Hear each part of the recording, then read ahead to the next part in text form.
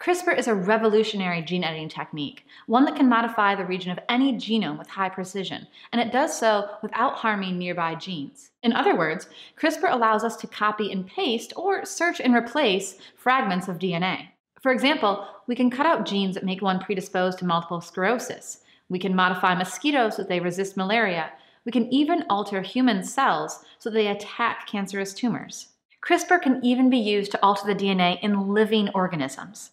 In one study, scientists engineered mice to express genes for HIV.